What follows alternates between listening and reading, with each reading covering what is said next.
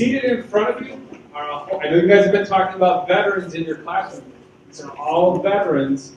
And then we also have General Mukoyama, who's sitting right in the middle, who is going to give you a little Veterans Day message. But before we get started, we have a group of gentlemen in blue shirts, and they are called the Arlingtones, and they are going to sing the Star Spangled Banner to get our assembly started. So, what I need you to do can stand up. Oh, say can you see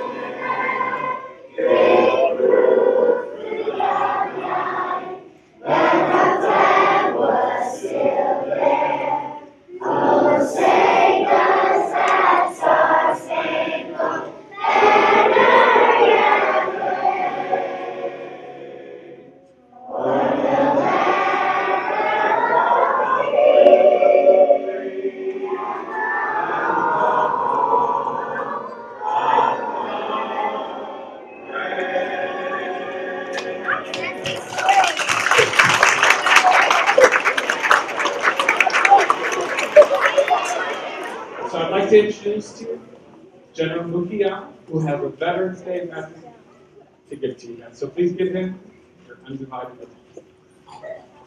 Mr. Larson, uh, students of Patton School, thank you for inviting me here today to talk to you about the meaning of Veterans Day.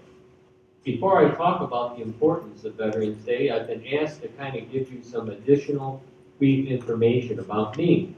I was born and raised in Chicago and graduated from the University of Illinois in Champaign-Urbana.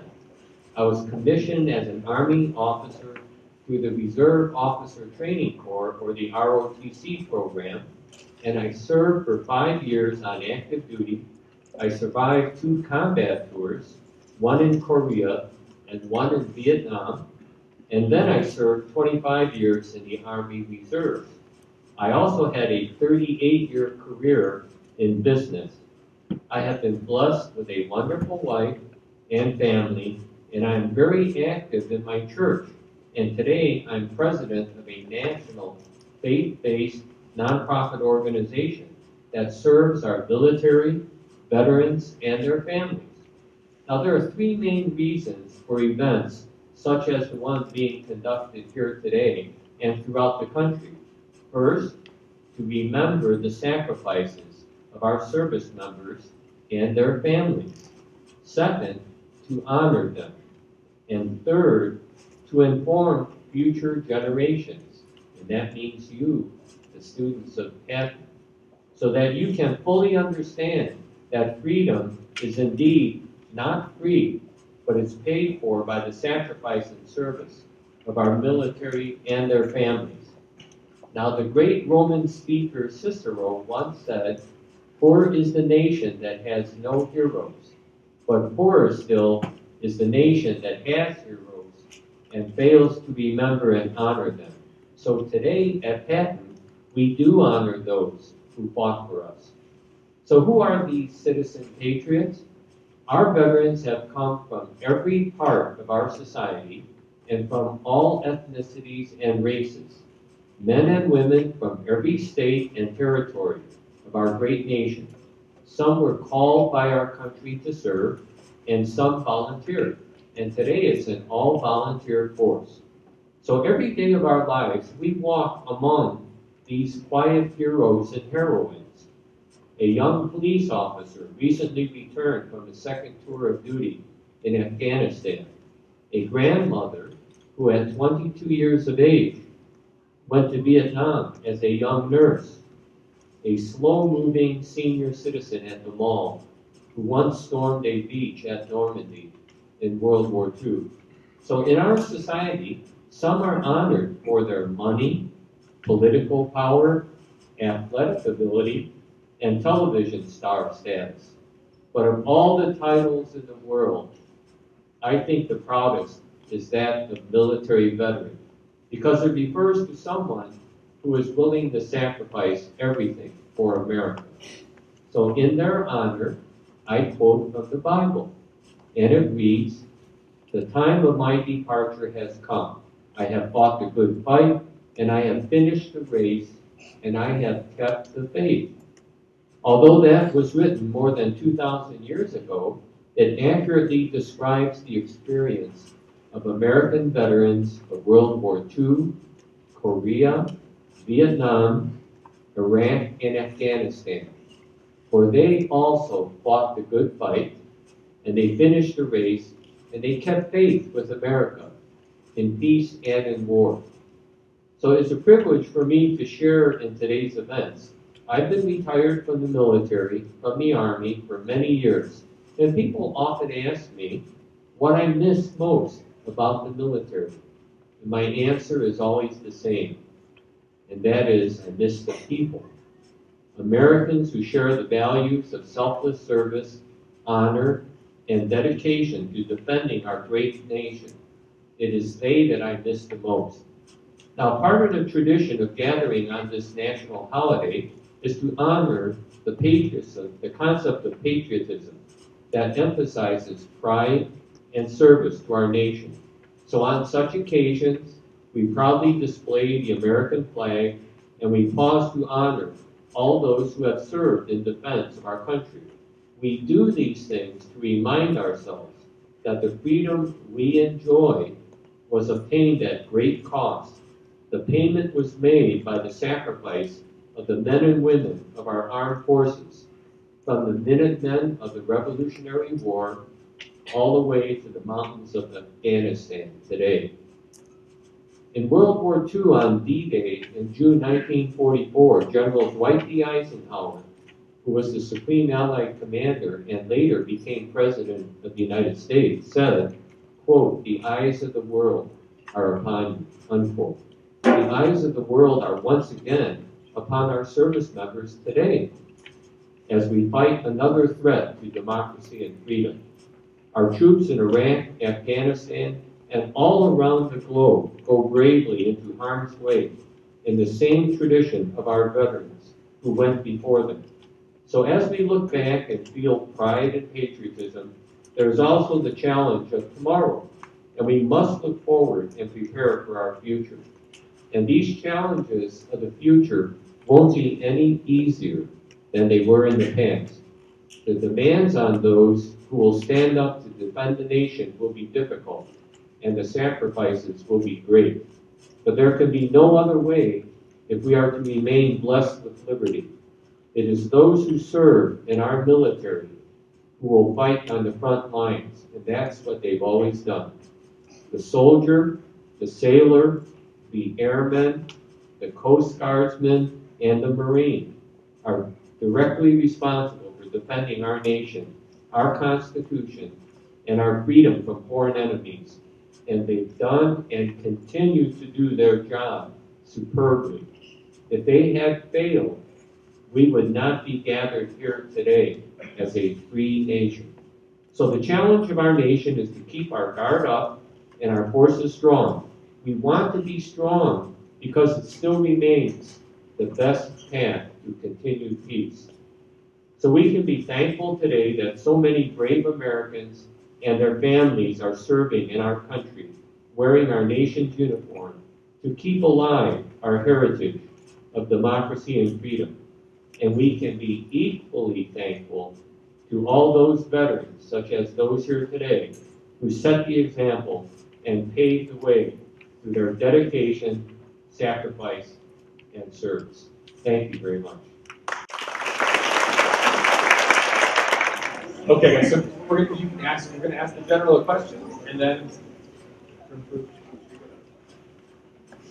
How old were you when you joined the military?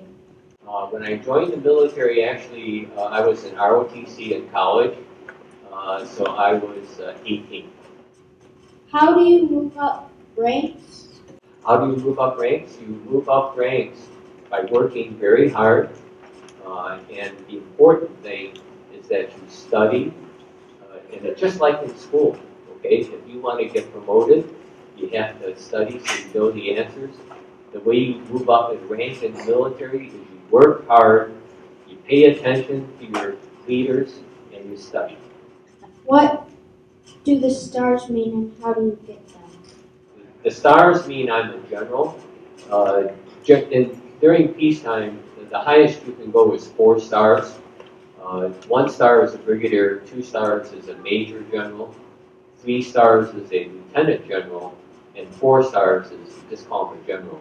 So I'm a major general because I have two stars. Where were you stationed? I was stationed, I started out in Fort Benning, Georgia as an infantry officer, then I went to Korea as a platoon leader. I came back to Fort Lewis, Washington. I then went to Vietnam, then I came back to Fort Sheridan, and then I joined the reserves. Do you have any time to have fun? Oh, I have, I have a lot of time to have fun. And, uh, you know, you make, what, no matter where you at, no matter where you're at, always have a good sense of humor. Uh, because life can be tough sometimes, and a smile can make you feel better. What was your job in the army? I had a lot of jobs. Uh, mostly, uh, the one that I, the ones I enjoyed the most was I was an infantry officer. So that means I trained for fighting and to lead soldiers. And so uh, the, the best job, I- I've got to say, was when I was a company commander in, in Vietnam. It was the most dangerous, but it was also the most fulfilling for me. How did you earn your stars? I had great non-commissioned officers. Non-commissioned officers are the sergeants. They're called NCOs. They're the ones who really make the unit operate smoothly. So the answer to your question is I had great NCOs who made me look good. What is it like to command troops? Uh, it's very challenging to command troops. Uh, the thing you have to remember is that when you're commanding troops, uh, especially when you're in combat, if you make a mistake, it costs lives. And that's the most important responsibility I had as an officer in the United States Army. Do you have any friends in different groups of the armed forces? the, the military, you know, it's like a family. Uh, we have a lot of sibling arguments, you know, between the Navy and the Marines and the Air Force and the Army, but that's like within the family. If somebody from outside, a non-veteran, comes and says something, uh, we all band together. So we we all work together. Have you ever worked in a tank or plane? Have you ever worked in a tank or a plane? Yes. Uh, answer is yes to both. Uh, I have driven a uh, Abrams tank, which is an M1 tank. That's the most modern one. And I have also, I was a paratrooper. So as I mentioned before, I have been in airplanes that I wanted to jump out of. So Did you keep a diary or journal when you were in the military? uh, did I write a diary or journal in the military? No, I didn't. And I, I kind of regret that, but I really didn't have time uh, to do that. Um, the time that I always spent, especially when I was in combat, was just kind of thinking of what I needed to do to lead my troops. Uh, the rest of the time, uh, you know, you train so hard, you just want to chill out at the end of the day. You know, you don't want to uh, sit there and, and write. General, is there one person who was most influential to you in the military? Is there one person who was most influential to me in the military? Um, I would say, and this will surprise you all, it was my wife. Uh, yes, because, and the reason, the reason for that is that my wife supported me in the military. I could not have done what I did in the military without my wife supporting me. And that's why when you think of our military, always remember their families, because the families sacrifice as much as the service member. What is your favorite thing to do in free time? Favorite thing to do in free time is I'm very active in my church, so uh, I like to volunteer and serve others. If I can serve others, I'm, I'm pretty happy. How many soldiers are you in charge of? Well, uh, it depended at what level you're talking about. Uh, the my last position, I was the deputy commanding general of training and doctrine command, which was the Army's training headquarters. So all of the training posts reported to us. So conservatively, a couple hundred thousand, maybe. What did you wear? What did I wear in the army? Whatever they told me to wear. and we had we had many uniforms, believe me. What do you do um, to train for the army? Uh, first of all, as a soldier, you have to be physically fit. Okay, so you, you really have to be in good physical condition. Number two, today the military is very uh, dependent upon, upon knowledge when it comes to computers, and you have to be you really have to be very smart. So you've got to go to school, and you have to get a good education. And the other thing is, which I stress to my soldiers, was you really have to have a good moral code. And the moral code comes from your family and it comes from your religion, whatever your faith is. Okay? So you need to be strong physically, you need to be strong in terms of your education, and you have to be strong morally. How is your family impacted? How was my family? Well, I've been very blessed. Uh, I have a wonderful wife uh, who's put up with me for 43 years, and uh, she gets the gold medal. I always tell people that she was always higher in rank than I was. to answer your question, there were so many times I was away when my wife, who is all of four foot ten and weighs about 95 pounds, uh, that's when the blizzard came. Okay, so guess who had to get the snowblower out to plow the driveway? Because I wasn't home. Uh, we had uh, our son was a, a pretty uh, let's say he got into a lot of trouble when he was a kid. and uh, my wife had to take him to the emergency room of the hospital three times. I don't even know where it's at because I wasn't home at the time.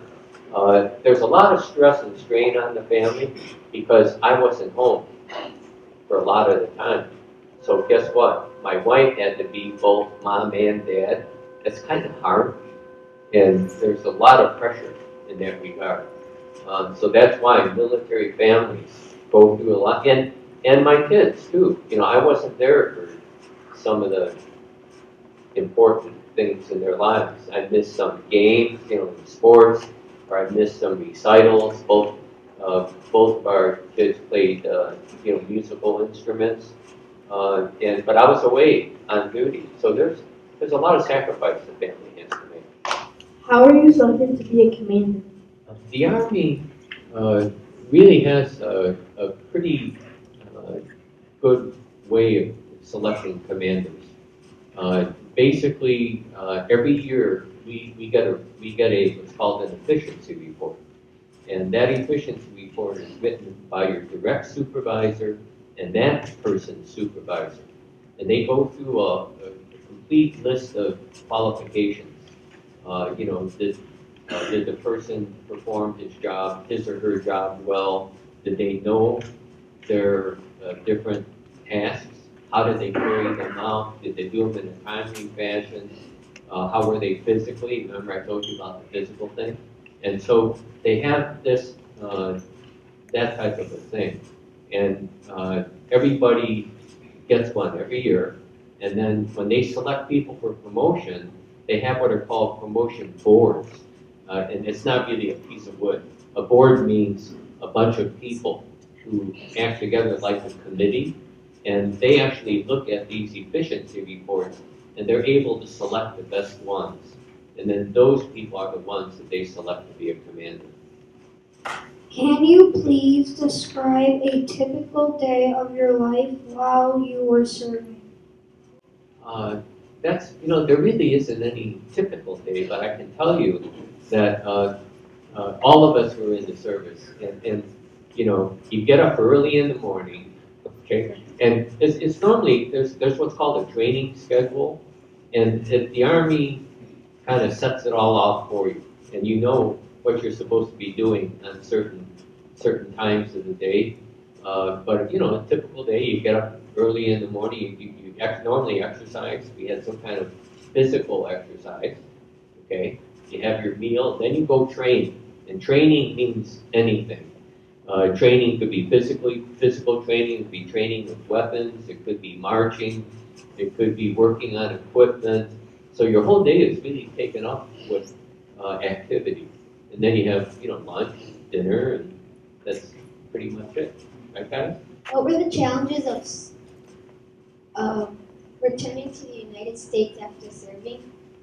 Yeah, the question was, what were, what's the challenges of uh, returning to the States after serving? Um, I'm a Vietnam veteran, and so our country at that time, it, now it's gonna be hard for you all to believe this, but when we came back from Vietnam, Vietnam was a highly unpopular war uh, in our country. And uh, there were people in our country who treated our military extremely bad. That's, I could use other words, but I'm here. And, uh, but it was so bad that we were told not to wear our uniforms in public, if you can believe that. I mean, people were spitting on us, they were calling us names. Uh, it was brutal. And so for my generation, when we came back, there were no parades, there were no welcome home, uh, there were no yellow ribbon things, which we have today. And, and I would tell you that the reason that's happening today is because of our Vietnam generation. Because we swore that when we got to be our age, that that wouldn't happen again to other, other younger soldiers, sailors, marine, airmen coming back. And so uh, it was pretty tough for us when we came back. Now, the good news is that if you had a strong family supporting you, and in my case, uh, my church supported me, uh, that made it a lot easier. How does training help you in the Army? You know, the Army uh, has a very fine training system, and all, all the military does, really. Uh, and so it helped me as an individual in life because, you know, the Army system is pretty simple. They basically tell you what they expect you to do, they tell you the standards, and they tell you the circumstances, circumstances under which you're going to do it. And then they measure you. And that's, the, training is very consistent.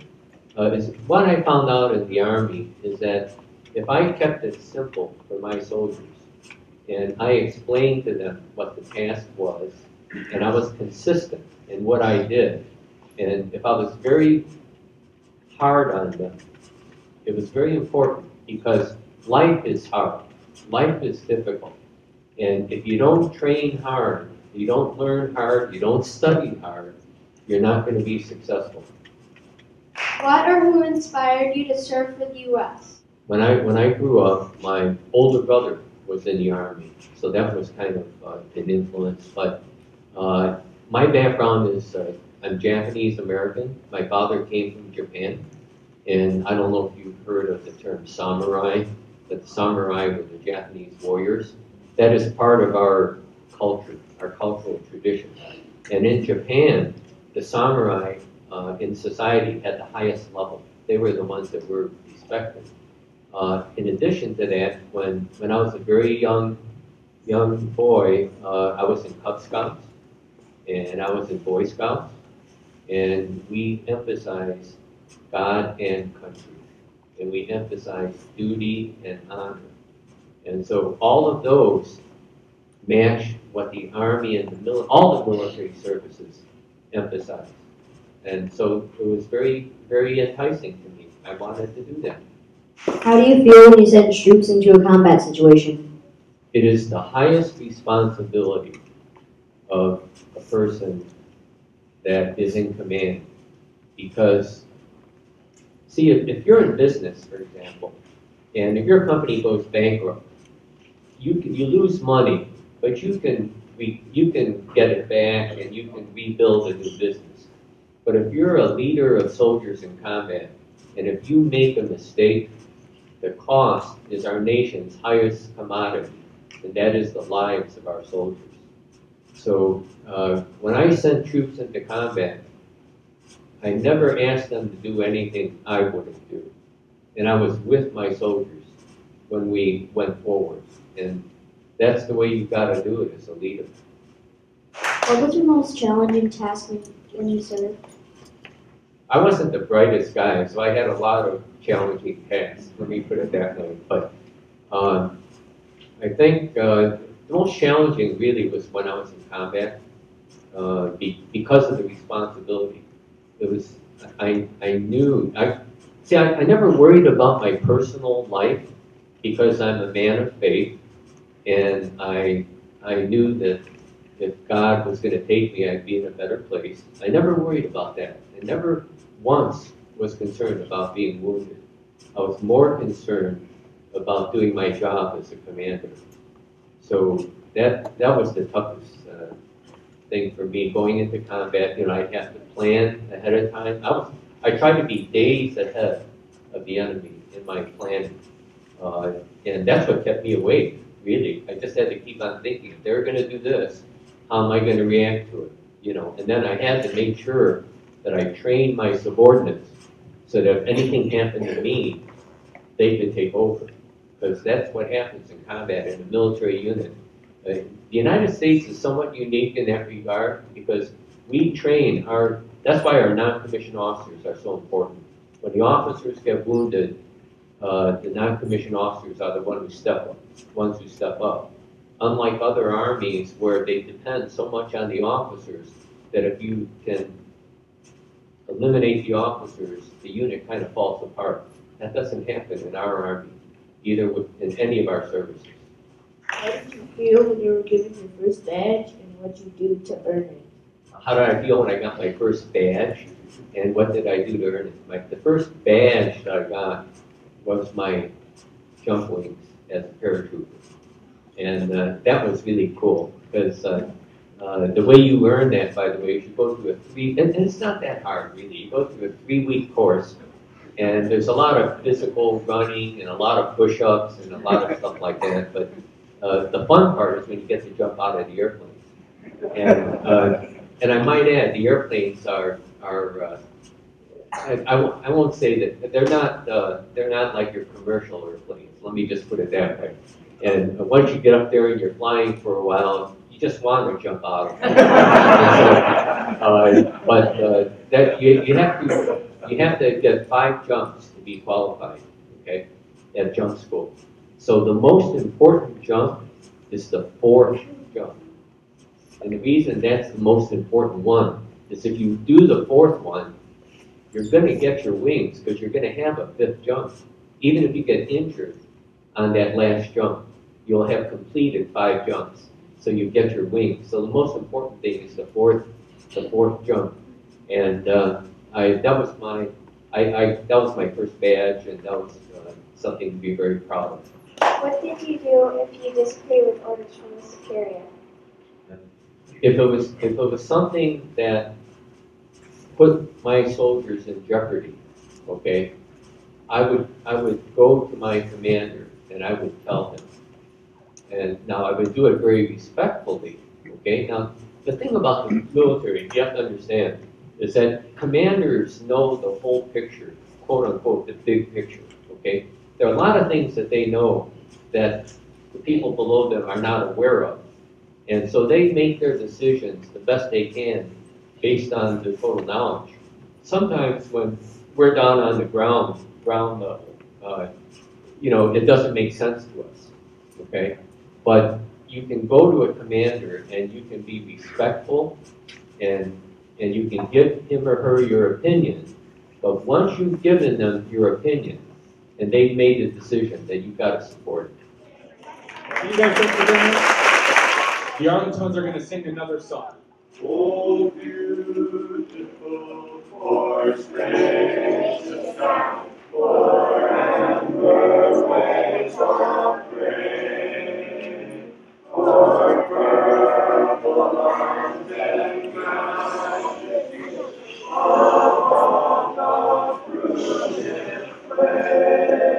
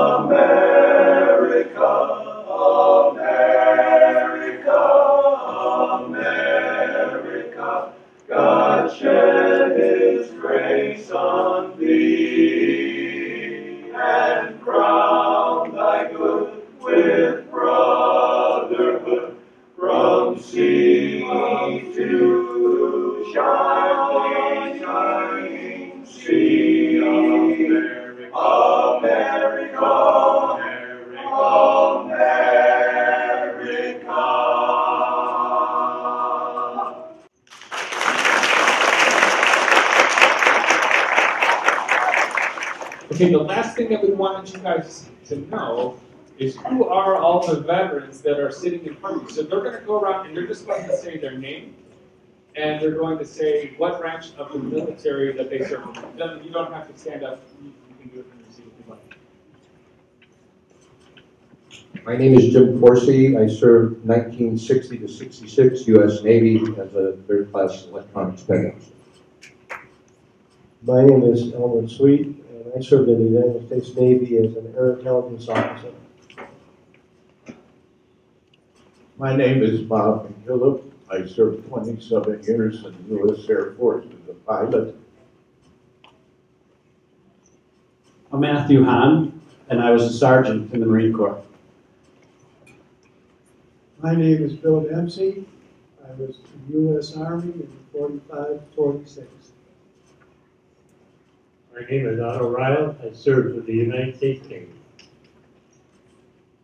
I'm John Sloss. I served with the U.S. Army in 1996 and 1999. I'm Al Scheifler, a Navy lieutenant, a heavy attack squadron lieutenant. My name is Jack Sturgeon, and I served in the U.S. Army Signal Corps. I'm Bob Henderson, and I served in Korea in 1952 and 1953. Name is John McDermott, United States Marine Corps, 1943 to 1946.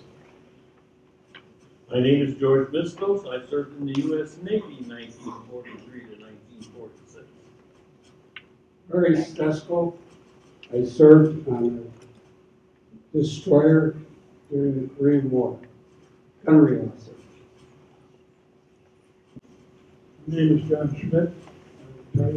The United States Air Force as colonel after 38 years. John Cordet, I served six years in the U.S. Air Force. My name is Dias. I served three years in Armor Division. My name is Carl Palmer. I served in the U.S. Navy, petty officer aboard the USS Stevenson EMS 37. Wayne Larson, U.S. Marine Corps, 1948 Rob Studi, I was in the Army uh, Airborne. Mario Bartletti,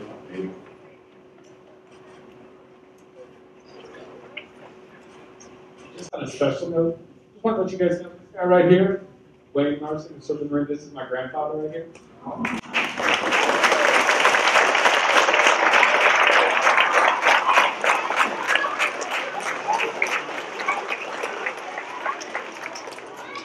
So just as we kind of wrap up, um, to our veterans, I know I said this to you before, but I'll say it again. Thank you so much for your service to our country. Just thank you for providing a safe place for us um, so that we can live the type of life that we live. So if you could just stand up and give our veterans one more big round.